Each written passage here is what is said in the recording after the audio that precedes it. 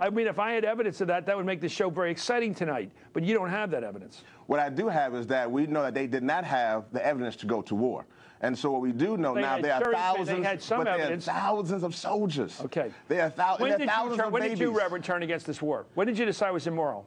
I turned against this war when I knew in the beginning that this war was illegal and that we were rushing off to a war not for the right reasons. And we were just speeding down under this what course. load? Under uh, what law? International law? Because the American law says the president needs the support of Congress to go to war, and they gave him the blank check Well, to go I'm to not talking about international law or American law. What I'm talking about is human law. Right. When we put humanity first again, we're not dealing with our law, our country, and their country. We're putting so human you people believe in first. something called natural law. There's certain I'm- things that are wrong. That's right, natural law and putting human people first. You know, a lot of liberals don't, by the way. I do, and Clarence Clarence Thomas does too. We were taught that. Natural good. law. There's something. Murder is wrong. Murder is wrong. Okay, it's let- that let- fifth commandment. That, okay, you know, I we- want I want you to so give me a Thou shalt not kill. Now I want some street color here. What was it like to go to the White House, which you grew up respecting, and looking at this building where the president lives, and marching in and breaking the law? What actions did you take to get arrested?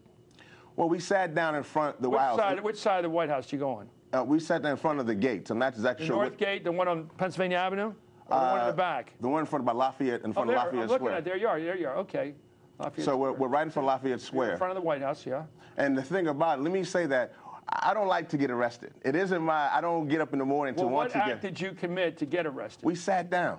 Like Yeah, Rosa Parks on did. we sat down. We sat down on the sidewalk. Like Rosa Parks had to sit down so others could stand up. And we sat down so others could live. Others could have a life. Others could live in Iraq peaceably. Others could live. We could bring the There troops you are. Is that now. you, sir? Is that you, That Reverend? is me right there. You're up right next to that gate. I am right next to that gate. Trying and, and to what did the police officer? Do you remember any words spoken to you by the cap, the not Well, the we Capitol, came with the White our, House Executive we Police? came with our declaration of peace. Because what we are trying is the faith community, what you said earlier, it's important for the church community. We need to wage peace and not wage war. okay, what's so the biggest demonstration we're going to see the next week? Anywhere is there going to be a big one or just 34 people? That's not going to stop a war. Well, you know, well, you never know. You never know. It took it takes one person to start a war, to stroke that pen. So it takes one person But to stop the 300 war. million people out there who aren't who are not protesting. And there are over 2,600 soldiers who have died. I know.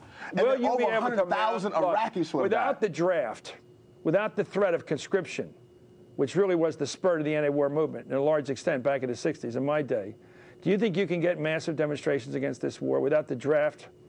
I going after people? I believe, I'm, I'm not trying to support this war by drafting more poor people. No, I'm saying that that's what gets people in the streets. Well, I mean, if, if that's what well, we're hoping that we, we're hoping that rich people don't have to have their kids go. We're hoping that people will stop the war. Rich, poor, middle class, it doesn't matter. We're hoping that people, uh, Americans, Right. can rise Well, to that's the the great goal of every demonstration, every movement is to unite the needs of the poor with the fears of the rich. That- You have to got to get to both.